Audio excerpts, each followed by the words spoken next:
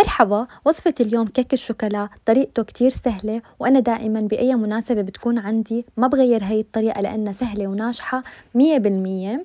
رح أعملها معكم بطريقة ومكونات موجودة بكل بيت. رح أحتاج بالبداية لأربع كاسات طحين منخول ضروري إني وبعدين بضيف كاسة كاكاو. طبعا الكاسات اللي عم بستخدمهم هن نفس قياس الكاسات المعيارية. إذا مو متوفرين عندكم بتقدروا تستخدموا أي كاسة لكل المكونات.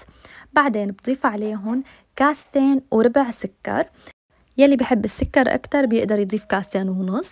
بعدين بضيف معلقتين baking powder مع معلقة صغيرة من ال baking soda هي نفسها الكربونة. بحركهم كتير منيح مع بعض وهيك بكون خلصت المواد الجافة. بحطهم على جنب. هلأ بحضر المواد السائلة اللي هن أربع بيضات بحرارة الغرفة. ضروري إنه البيض يكون بحرارة الغرفة لينجح معكم الكيك. هلأ بخفقهم منيح مع معلقتين كبار من الفانيليا ورشة من الخل الأبيض. بتقدروا تحطوا معلقة خل أبيض. بخفقهم سوا وبعدين بضيف كاستين حليب دافي أو بحرارة الغرفة. المهم ما يكون الحليب بارد مع كاسة زيت نباتي. بخفقهم كتير منيح مع بعض بخفاقة الكيك لحتى يصير الخليط على بياض. يعني تقريبا بياخدوا شي عشر دقايق مو أكتر من هيك. وهيك بيكونوا المكونات السائلة صاروا جاهزين عندي تقريبا. هلأ بضيف المكونات الجافة اللي حضرناهم بالبداية.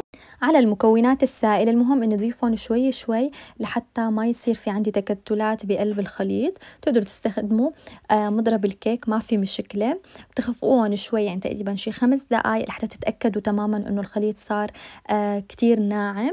بعدين آه خلص بيكون صار جاهز عندي الخليط. هلأ بهاي المرحلة بيكون خليط الكيك سميك. فنحن هلأ رح نخففه.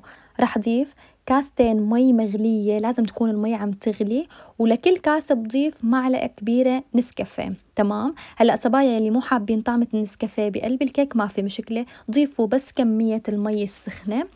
ولا تحطوا النسكافيه. هلا ملاحظه كمان كتير مهمه انه الصبايا اللي حابين يعملوا هاي الطريقة بس الكيك يكون فاتح. طعمته ما بدهم إياها على كاكاو بيقدروا كمان يلغوا كاسة الكاكاو بس بيضيفوا بدالها كاسة طحين.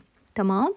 هلا خلصت آه، خفق وصار عندي خليط الكيك جاهز. طبعا هون ما بحتاج للمضرب الكهربائي أو خفاقه الكيك آه، بحركهم بالمضرب اليدوي بهذا الشكل.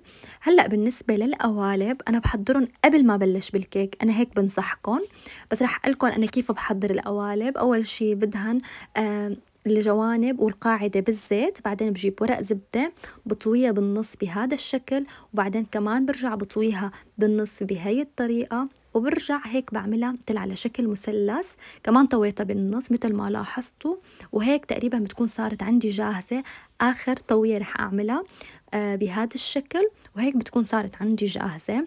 هيك أسهل عليكم خصوصي للقوالب اللي بتكون صغيرة. أول شي آه بقلب القالب على الطرف الثاني وبقيس لحتى آخذ بس نص قياس القالب وبقصهم بالمقص وهيك بتكون صارت جاهزة عندي. هاي الطريقة كتير سهلة وبتسهل عليكم إنه القالب يكون معكم مرتب. وما يلزق معكم ابدا. طبعا الأطراف كمان آه ورق الزبدة دهنته. بعد ما قصيتهم دهنتهم شوية زيت لحتى كمان يلزقوا معي على الأطراف. وبعدين بوزع خليط الكيك على القالبين مثل ما شفتوا. بحطهم بفرن محمى مسبقا. ضروري إنه يكون حامي مسبقا على الرف اللي أقل من الوسط. حرارة 180 الفرن شغال فوق وتحت لمدة 40 ل 45 دقيقة. ما بفتح الفرن عليهم أبدا ليمرق هذا الوقت.